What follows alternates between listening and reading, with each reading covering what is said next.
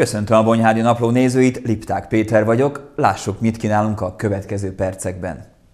Soha nem látott útfejlesztések Bonyhádon. Közeledik az országgyűlési választás. Az év önkéntes tűzoltó egyesülete lett a Bonyhádi. Új életet lehel a szövet darabokba Relkata. Verszínházi előadás Vörös Marti Mihály költeményeiből. Soha nem látott útfejlesztésekről beszélt Filóné Ferenc Ibolya, Bonyhád polgármestere.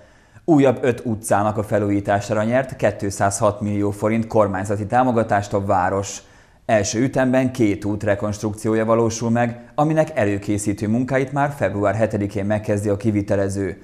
Ezek teljes felújítása várhatóan március végére elkészül.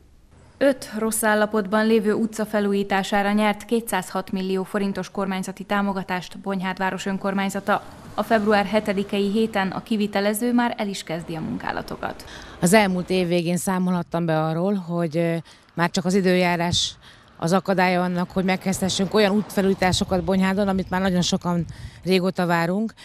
206 millió forintos támogatásban részesültünk Magyarország kormányától, hogy Bonyhádon öt utca újulhat meg teljes hosszában, új aszfaltréteget kapva, és minden egyes beszerzést lefolytattunk már, gyakorlatilag a forrás rendelkezésre áll, ezért tényleg csak az időjárás volt eddig az akadálya annak, hogy nem kezdhettük meg ezeket a felújításokat.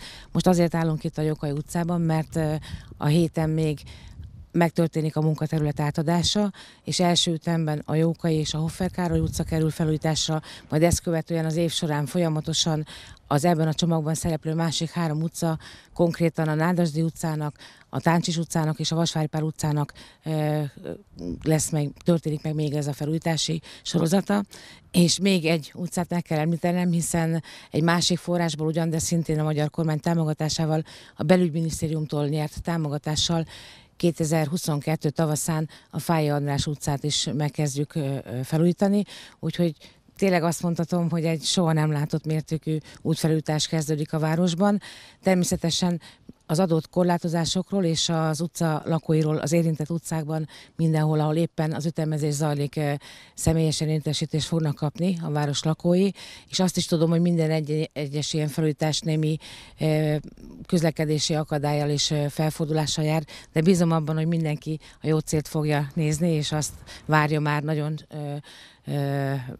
a, velem együtt a lakosság részéről, hogy ezek az utak minél hamarabb megújulhassanak, és ezeket a kellemetlenségeket pedig elnézzük, ami a, a felújítással jár. Az útrekonstrukció első üteme mintegy 72 millió forintba kerül majd. Jövő hét hétfővel megkezdjük a Jókai utca, illetve Offer Károly utca burkolat felújítási munkáit. Mind a két utca esetében végzünk alépítményi javításokat, a szegélyek javítását is elkészítjük a csatlakozásokat, valamint mindkét utca teljes fölöttében két réteg új aszfaltburkolatot kap. A felújítási munkákat, mint mindig igyekszünk úgy végezni, hogy a forgalmat, illetve az itt lakókat a lehető legkevésbé zavarja. A Jókai utca 267 folyóméter hozban átlag 6,3 méter szélességben fog megújulni, a Hoffer Károly utca pedig 390 folyóméter hozban, összesen mintegy 2600 négyzetméter felületen kap új aszfaltburkolatot. Az előkészítő munkák körülbelül négy hétig tartanak majd, ami alatt az út még járható lesz. Filóné Ferenc Ibolya arra is választ adott, miért pont ezt az öt utcát állítják helyre ebből a kormányzati támogatásból. Az elmúlt évben a képviselőtestület döntött arról, hogy természetesen a felmérések és a tapasztalatok alapján, hogy felállít egy sorrendet, hogy melyek azok az utak, utcák, amelyek felújításra várnak, és ebben a listában már azért egy-kettőt kipipálhatunk, de még azért hosszú ez a lista, és ezek voltak a, a felújítás sorrendjében a szükségességet, forgalmat is figyelembe vettük, természetesen alapvetően az utak állapotát, azt, hogy milyen átmenő fogalom van rajtuk, vagy milyen intézményeket szolgálnak ki, és ezek alapján született meg a döntés, és ahogy a források érkeztek hozzá, úgy lehet ezeket folyamatosan megvalósítani. A szerződéseket már megkötettük a kivitelezésre, a Jókai és a Hoffer utca esetében március végére ezek megvalósulnak, és az összes többi általam említett utcákban pedig a nyár végére bízom benne, hogy valamennyi felújítás elkészülhet.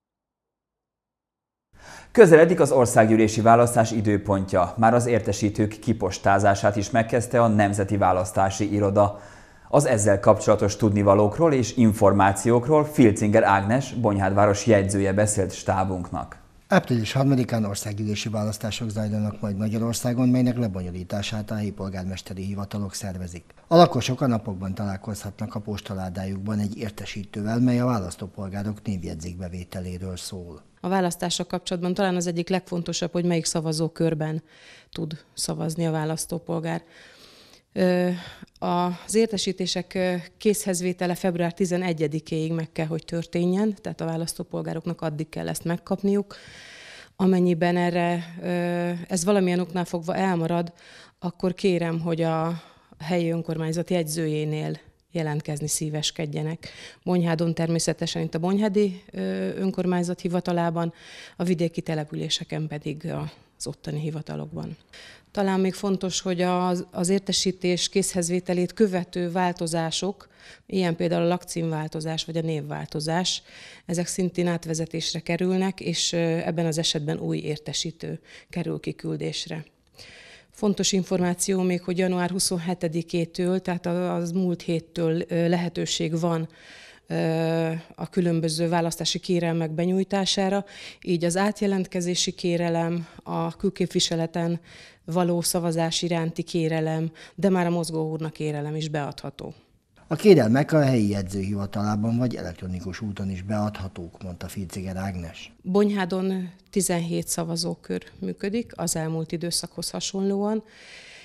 Egyetlen változás történt ezzel kapcsolatban. Két szavazókör, az egyes és a kettes, amelynek a, a helyszíne általában a, a szakképző iskola, Percelmór szakképző iskola volt, az ettől az évtől átköltözik, miután a szakképző iskola átköltözött a, a Jokai utcába, és ez az épület üresen áll, ezért átköltözött az egyes szavazókör az önkormányzati épületbe, a kettes pedig a művelődési házba. Azok a választópolgárok, akik korábban kérték a nemzetiségi listára való felvételüket, és kérték a kiterjesztését a, az országgyűlési képviselőválasztásra is, ők ebben az esetben a pártlistára nem szavazhatnak. Felhívom a nemzetiségi választók figyelmét arra, hogy az értesítőjüket nézzék meg. Azon látható lesz, hogy ők melyik listára szavazhatnak. Azok tehát, akik pártra is szeretnének szavazni, a bejelentést március 30-áig tegyék meg a helyi jegyzőnél, vagy a www.választás.hu oldalon. Az év önkéntes tűzoltó egyesülete címet a Bonyhádi Öte kapta a 2021-ben teljesített szolgálatukért. 605 egyesületből az idén a völgységi csapat hozhatta el a vándorkupát. Miklós Roland, a szervezet elnöke elmondta, a sikeres működéshez elengedhetetlen a jó csapat is. Filóné Ferenc Ibolya irodájában fogadta az ország legkiválóbb önkéntes tűzoltó egyesületének néhány tagját. A több mint 600 magyarországi öte közül a Völgységi Város szervezete kapta meg az Év Önkéntes Tűzoltó Egyesülete címet. Én úgy gondolom, hogy ezt, ezt a, a díjat azért sikerült az Egyesületnek elnyerni, mert folyamatosan minden egyes káreseményen részt tudunk venni. Az országban bármilyen káresemény történik, ami a mi közigazgatási területünkön kívül történik egy nagyobb káreset, akkor Egyesületünk is elsőként van, aki akár távolabbi településekre is elmegyünk segíteni. A Szexári Tolna megyei katasztrófa védelem humán osztálya terjesztett föl minket, ugye Budapestre az OKF-hez. Tudomásom szerint a tavalyi éveknek a, az esetszáma, ami a tavalyi esetek, az 80 vonulásunk volt. Én úgy gondolom, hogy hozzátartozik a Tűzoltó Múzeumnak a tavalyi éves munkája, és minden egyesület tagnak a munkája. Hozzá, hozzá tartozik az is, hogy egyesületünk minden egyes szakfelszereléssel rendelkezik, ami mind műszaki mentéssel, mind bármilyen káreseteknek a felszámolásához tartozik. Ami még én úgy gondolom, hogy hozzá tartozik, hogy egyesületünk jól tud működni, az a Bonyhádi Egyesületnek úgymond a, a csapata, én úgy gondolom, hogy a kollégákkal nagyon jól tudunk együtt dolgozni, mindent megpróbálunk megbeszélni, minden egyes káreset után átbeszéljük a káreseket a parancsnok úrnak a, a vezetésével, ebből is sokat tudunk tanulni. Tavalyi évtől pedig már a Bonyhádi Tűzoltó Múzeum üzemeltetésébe is besegítenek. Miklós Roland elmondta, várják azokat, akik hasonló módon szeretnének segíteni embertársaikon. Egyesületünk 35 főből áll, amiből 15 vonulós tagunk van. Én, tehát vonulós tagot mindig szívesen látunk, meg, meg pártoló tagokat is mindenki szívesen látunk az Egyesülethez. Mi nagyon örülnénk ahhoz, hogyha valaki ezt önként, önkéntesen tudná vállalni, és csatlakozna az Egyesületünkhöz. Én az Egyesületnél 20 éve vagyok jelen esetben. Van, aki régebb óta van, van aki, van, aki ugye fiatalabb. Én úgy gondolom, hogy annál jobb érzés nincs, mint hogy önkénten, önkéntesen valakin segíteni a nehéz esetbe bajba jutottakon.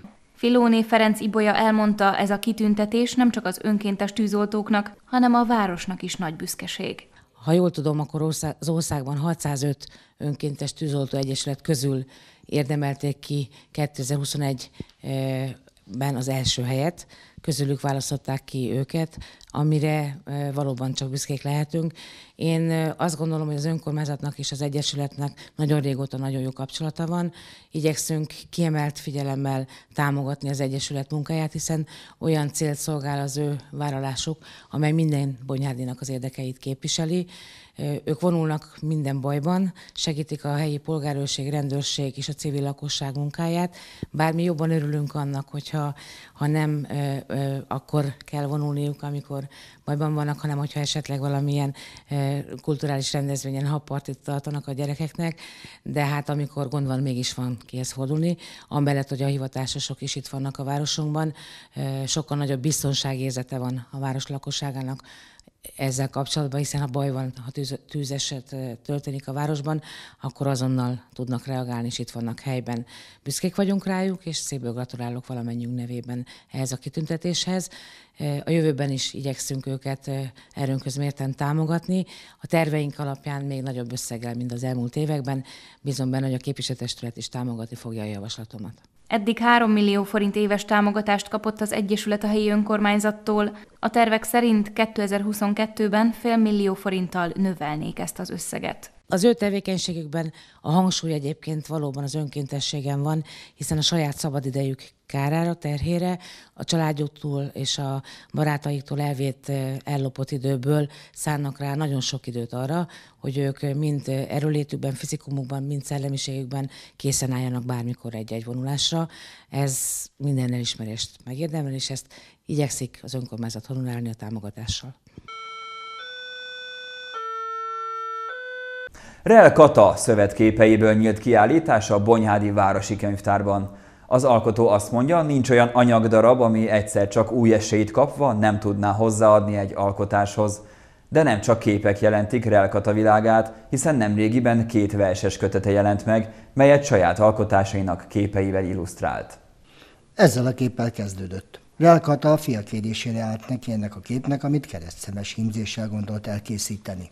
A sors úgy akarta, hogy a cérnő elfogjon, így más módszerhez kellett nyúlni. A többit mesélje el az alkotó. Mindenki látta, hogy az nem textil darabokból van, hanem az himzéssel, cérnával, tűvel öltögetve. Na most azt elkész, készítettem, és menet közben elfogyott a, a kék színű fonal. És akkor leálltam, kész. De hát a készítés meg volt bennem, hogy ezt meg kellene csinálni, és akkor jött az ötlet, hogy textil darabokból, tehát nem fonal segítségével, hanem textil darabokból. És akkor ennek elkészítettem a testvérét, az első textilképemet, az éjszakát, ami hasonló nagyságú, de azt a csúnya bagyot lehagytam róla, és a saját elképzelésem szerint készítettem egy kis városkát, falucskát, tehát házak, templom, hegyek, mi egymás. A siker aztán további alkotások elkészítésére sarkalta, és kezdte a világot más szemmel nézni. Autodidakta módon tanulta a képkészítés fortéjeit, az alkotás folyamata tanította arra, mikor milyen anyagból lehet gazdagítani a képet. Úgy gondoltam, hogy saját magamat fejleszteni kell, mindig újabb, érthető, világosabb, elfogadhatóbb képeket készítettem, és feladatokat tűztem mindig magam elé. Most tessék, itt van a probléma, old meg, csinálj egy hegyet textíliával. Vagy csináld meg a vízesés textíliával. Vagy csinálj a szöllőt textíliával.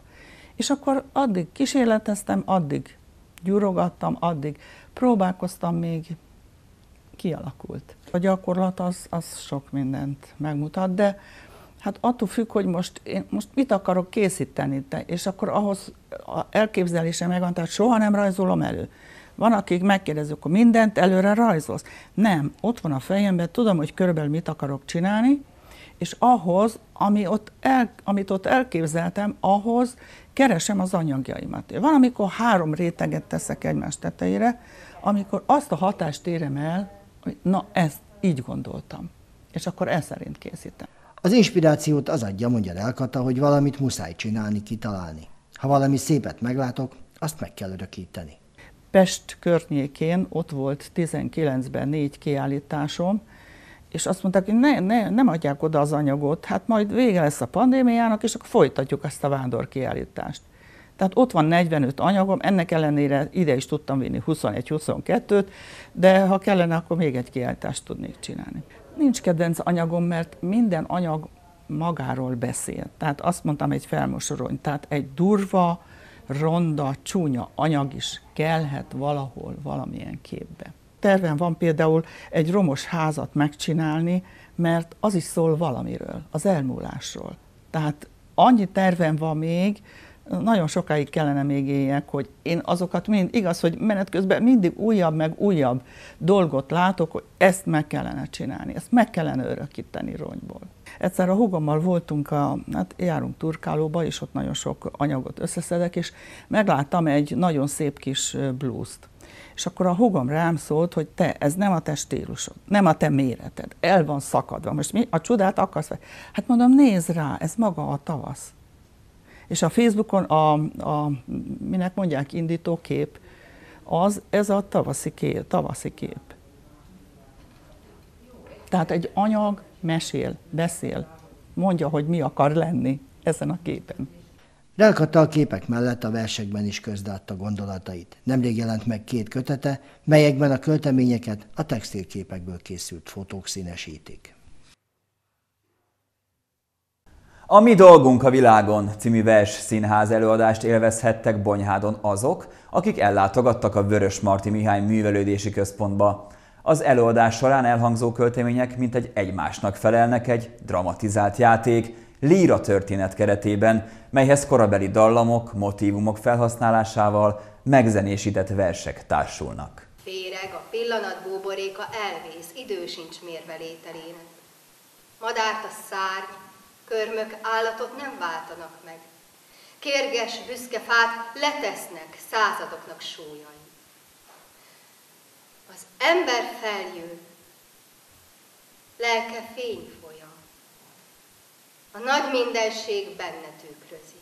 A magyar költészet nem lenne Vörös Marti Mihály lírája nélkül az, ami. A bölcsesség és a higgadt végiggondoltság épp úgy jellemzi ágazó művészetét, mint a szenvedély és a végletekig szó kimondó indulatok. Ebből a sokarcú lírából táplálkoztak, tanultak és merítettek erőt a későbbiekben is a költő utódai. A magyar kulturális örökség közvetítésében Vörös Marti életműve kiemelkedő jelentőséggel bír.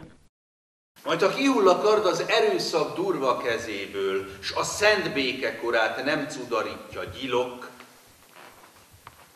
majd ha baromból, s ördögből a népzsaroló dús, s a nyomorú pornép emberiségre javul,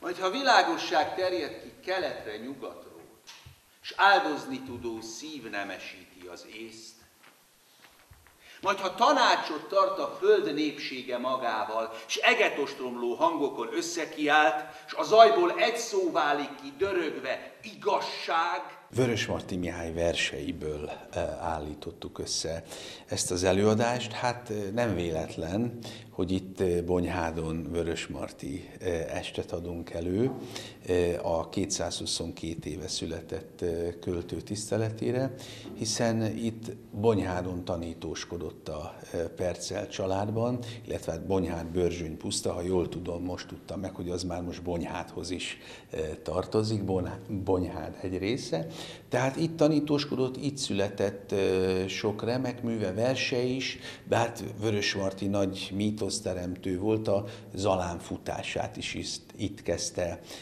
írni Börzsönypusztán, amivel aztán berobbant az akkori irodalmi életbe és országos ismertséget nyert, és jó magam is mondok egy részletet a Zalán futásából. Nagyon aktuális egyébként Vörös Marti, tehát nem csak azokon a helyeken adjuk elő, és kapunk igen pozitív visszajelzéseket az estről, ahol Vörös Marti élt, vagy volt köze mondjuk Kápolnásnyéken, a szülő falujában, a környékén, mert annyira aktuális lett, egyrészt ugye a költő zsenik kicsit a jövőbe is látnak, és ő maga is szinte leírta az elkövetkezendő 150-200 évet, ami, ami történni fog, és tényleg ma azért is aktuális Vörös Marti, ugye ú, nagy klasszikus, biztos ilyen veretes nyelv, ugye iskolába is jó, picit így,